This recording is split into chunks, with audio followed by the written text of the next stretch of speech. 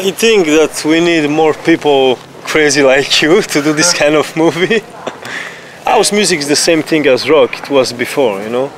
If uh, yeah, it's a big culture. It became a big culture, but just stick in the nightlife at the moment because the media, you know, TV, radio, they are a little bit cold about showing the real, the real stuff, you know.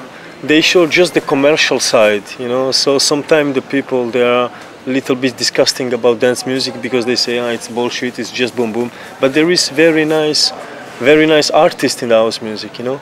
And because we are not performing like a rock before with the band, you know, our performance is just to be DJ in a club. But we don't have a full support from media and stuff like that. So uh, making a movie like that, I think it's very cool.